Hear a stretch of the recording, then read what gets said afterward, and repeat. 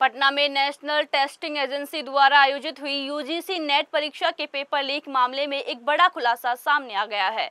आरोपी अनुराग यादव ने पुलिस के सामने दर्ज किए गए बयान में स्पष्ट किया है कि उन्हें परीक्षा के प्रश्न पत्र और उत्तर पुस्तिका एक दिन पहले ही मिल गए थे, जो परीक्षा में आए और उन्हें 100 प्रतिशत सवाल परीक्षा में पूछे गए थे। अनुराग यादव ने अपने बयान में यह भी कहा था कि पेपर सेट करवाने की गड़बड़ी में उनके फूफा, यानी कि सिकंदर सिकंदर यादवेंद ने उन्हें कोटा से पटना बुलवाया था और रात्रि में सभी प्रश्नों का उत्तर रटवाया गया था।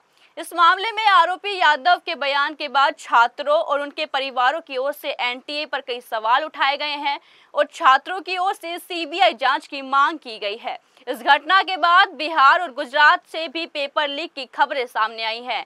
जिससे एनटीए की विश्वसनीयता पर सवाल उठ रहे हैं।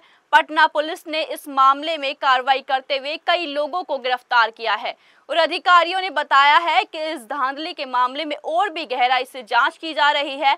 इस समाचार को लेकर अभी तक एनटीए ने कोई आधिकारिक बयान नहीं जारी किया है, लेकिन छात्रों और उनके परिवारों का गुस्सा अभी भी शांत नहीं हुआ है। आगे भी इस मामले में नए खुलासे हो सकते हैं।